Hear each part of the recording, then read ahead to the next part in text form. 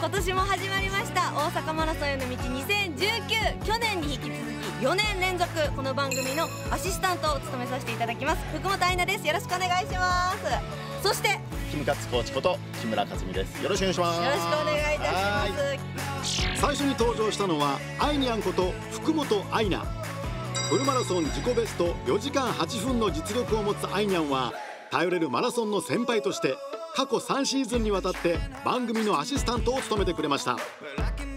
そしてこの番組ではおなじみキムカツコーチ。マラソンだけでなくトレイルランやトライアスロンなど走ることに関するスペシャリスト。さらに鍼灸師の資格も持ち体の鍛錬からケアまで行う頼れるコーチです。3年連続でこの番組のコーチを務め昨年は大会本番の解説者として大阪マラソンの魅力を伝えてくれました。ですねさまざまなタレントさんや芸人さんの大阪マラソンへの挑戦を追いかける番組なんですが去年はやっぱりユミ姉さんのあの走りが。ねえ本当にみんな感動しましたね。いやもうほんまにみんな感動したし多分最初のユミ姉さんの走りを見てええ。マラソン始められた方もいらっしゃると思いいまや本当にねそういう声もたくさんいただきましたよ。すうん。もう今年も挑戦者が面白いメンバーが。はい揃ってますのでね。ね。それでは早速登場していただきましょう。この方ですどうぞじゃあよろしくお願いします。よろしくお願いします。はいでは自己紹介お願いします。はい芸歴7年目の浜田裕太郎です。両国国技館目指して一生懸命走ります。よろしくお願いします。あれ？どこ行くんだお願いします。両国国技館じゃなかったあですか？違うんですよ 駅伝駅伝マラソンじゃないんであれ違う違う違う。あ違うんだ。登場したのはなんと R1 グランプリ2018王者の浜田裕太郎。なんで見えてない俺に色の説明をしようと思ったんやろ先天性の視覚障害を持ちながらもそれを逆手に取った毒舌で笑いの旋風を巻き起こした盲目の漫談師です。大阪の街を一生懸命走りたいと思います。はい、お願いします。はい。お願いします。新コースになりますからね。そうですね。また景色も去年までとはガラッと変わると思いますが、はい。今年は浜田さんにブラインドランナーとして大阪マラソンに挑戦していただくんですけども、浜田さんこの走るのとか運動とかっていうのは普段はされてるんですか？はい、あいや運動はもうほとんどしないですね。前一回あの知り合いとこはい。う道歩いてる時に、うん。横断歩道を渡ってて赤になるからちょっとだけ走るなって言われて、はいえー多分45メートルぐらいかなの距離パーって走ってはい。そしたら次の日両足筋肉痛になったんで、うええー5メートルです5メートルぐらいでえ、5メートルぐらい。じゃあ最近走った距離5メートル5ぐらい。メートル5メートルおお。さらにこれまでの人生でもほとんど走ったことがないらしく学校の授業で、はいあの短距離とかあったんで50メートルとか100メートルがまあ最長の距離。マックスがじゃあマックス100メートルぐらい。なかなか1キロも走ったことないっていうのはないですね。まさかのあんまり聞いたこと最ない。短距離でしたね。まだイメージをね持たれてない浜田さんみたいな方ほど新しい世界観がそう多分ですよね。入ってく。るんじゃないかな。いやでも本当にあの、今回からこう走り出してもしかしたらマラソンの楽しさを知って、うん。ハマるかもしれないですもんね。確かに。その可能性はね、十分ありますよ。ぜひじゃあそのフルマラソンの楽しさを見つけていただきたいと思います。はい。けどえブラインドランナーって言ってもお一人で走るわけじゃないんですよね、木本さん。そうですね。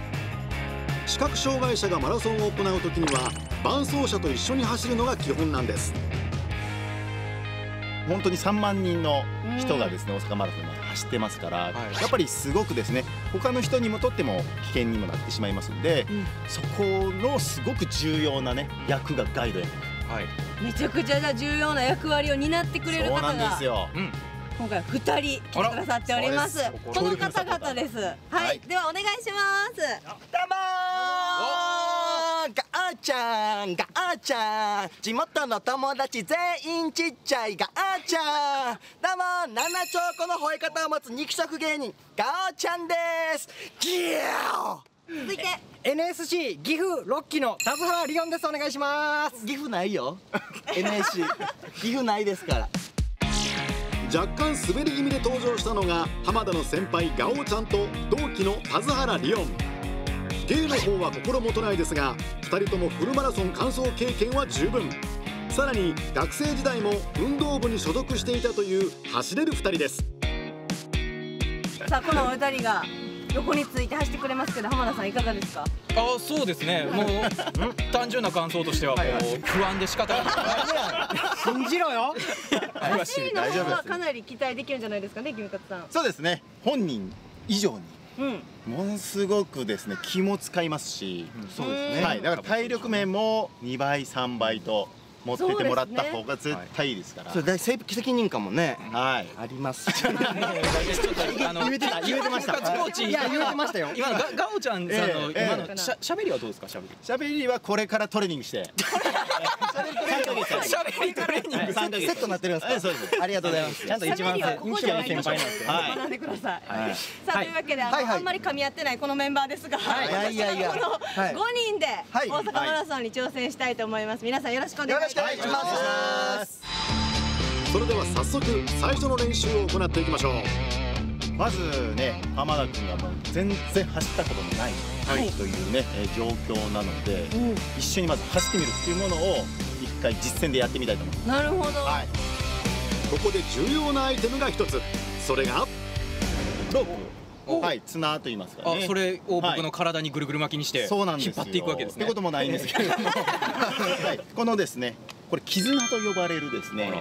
はい。絆。これをですね一緒にですねあの手に取り合ってですね端っこと端っこね、えー持って、これを持つことでその動きによってですねお互いの気持ちが分かりますよね、いや全然わからない まだまだまだまだまだ通じてこれから多分ね動くことでだんだん分かってくると。はい。はい。分かり合えると思います絆も太くなっていくんで。す絆ですからああはい。いいこと言いますね。ちょっと出ましたね。ね行ってみたいと思います。これ重要な作業です。はい。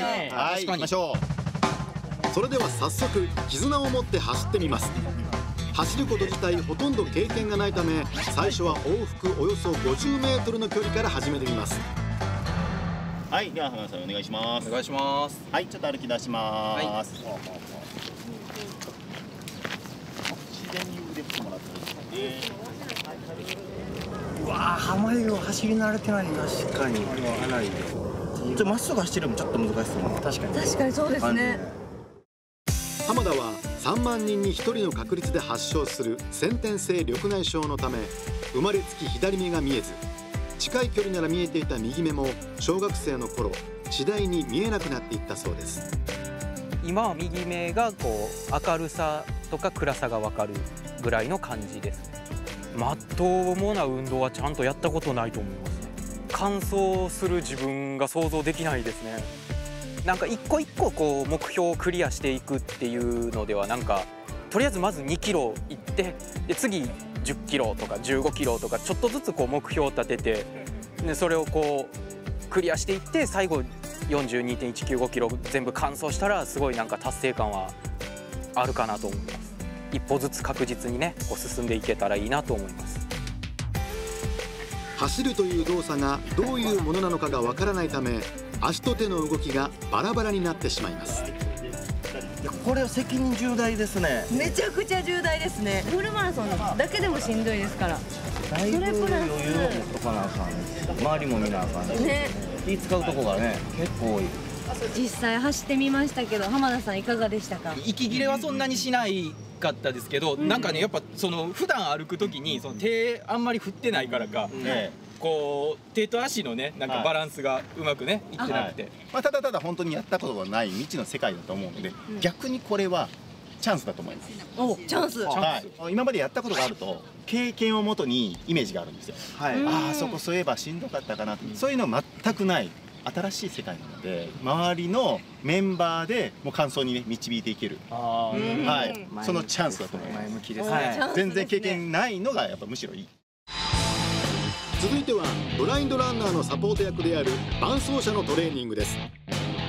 まず何からやるかというと浜田君と同じようなこのブラインドの体験をまずしていただいて、目の見えない状況ではい。走る歩く走るっていうのがどんな感覚なのかっていうのを知っているとはい。何をすればいいのかっていうのが多分見えてくると思うあなるほどなるほど。はいアイマスクをつけてブラインドを体験します寝る時もええ。電気つけるのは寝れんぐらいなんでちょっとはい。怖いんですけども。はい。そうですか。はい。そうですか。もうちょっとガオちゃんさんに興味持ってあげてください。大事な先輩なんでちょっと歩きます、ね、浜田と同じくキムカツコーチの伴走で走ってみます。うわ怖いな前。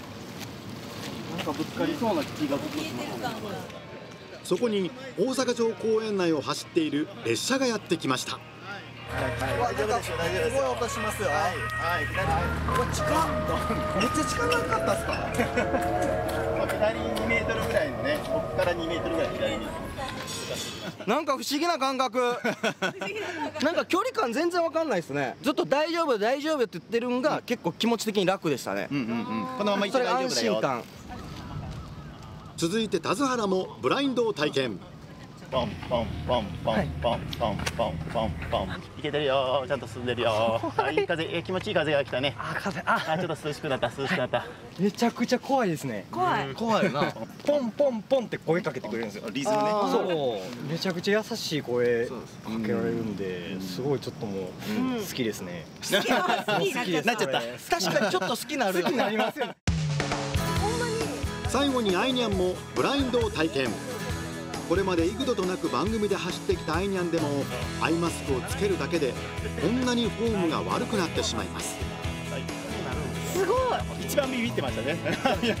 感覚ではわかるんですけど、えなんかこの斜めになったとかちょっと不安になるし、ねその微妙な違いもね。怖がってた感じがね。でもこっちの方ではちょっと田津原が可愛いこぶってるんじゃないか。な おい田津原。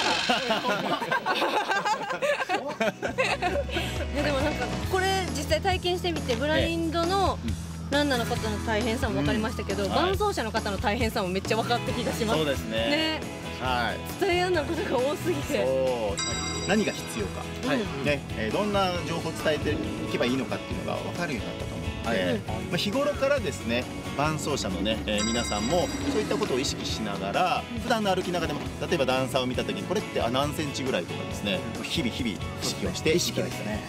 はい。日常生活からちょっと意識本当にもうしてそれが広い視野で見て、はい。細かく分析はい。ですね。ね。一同は屋内に移動ここでは？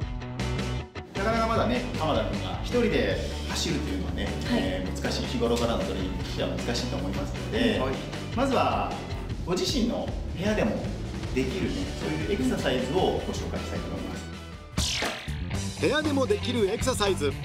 まず1つ目はその場でジャンプ30秒。これを3セット行います。壁に手をついてジャンプしても OK 単純な動作ですが重力に耐える筋肉や心肺機能を強化することができますそもそもやっぱり浜田さん全然走ったことないんですよね。そうですよね。基本的に。ええ歩きはねあるんですけど、走るとの違いって飛ぶという違いですね。まずこの跳躍に慣らすと骨も強くなります。筋肉も強くなります。部屋でもできるエクササイズ2つ目はフロントランジストレッチ20回つま先を前に向けた状態で足を前後に大きく開き腰を下に落とし上下させます。ちょっとバランス取ってますね。これぐらい。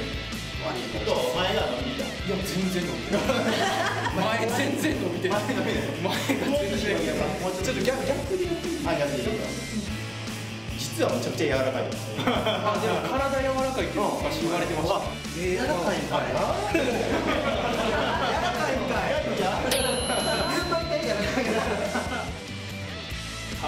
このストレッチをすることにより下半身特に足の付け根の筋肉の柔軟性と筋力を強化します。20回行った後足を入れ替えてさらに20回行うのが理想的です。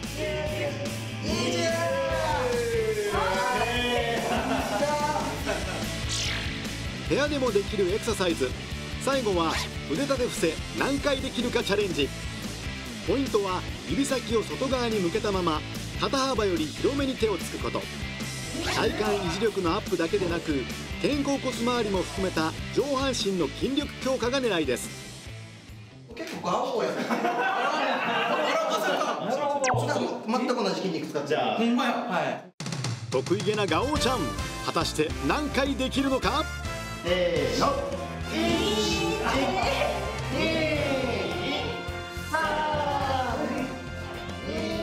20回で田津原とアイニャンが脱落運動経験がない浜田なんと記録は30回そしてガオーちゃんは34回で終了でしたはい、ということで。結構すごかったね。まあでも今ですね。すごいですねまず三十三十三十きましたよね。思った以上にかなり筋力もありましたし、まあ、最初柔軟性があってこの走るのは全然ないけども、他のところでむしろね、あの通常の方よりは、結構ね能力もあるところもあるんですよから、うん。まあ、そういったところをしっかり生かしてね、えー、いけるところも多々あると思うんですけど、楽しみになってきましたね、ありがとうございます、はい、どうですか？できそうな気がしてきました？まあそうとりあえず目標は2キロ走ることなんでそこ そこ目標に。一旦2キロ。一旦2キロ、はい。いつの間あもう2キロ走ったの？っていう感じになってると思う、うん。はい、そしたら次あ5キロ走ったの？っていう感じになってます、いつの間にかあもう42キロっていうこんなもん こんなもんなんですよ えらい飛びましたねいけますいけますよ、はい、大阪マラソン完走するぞ！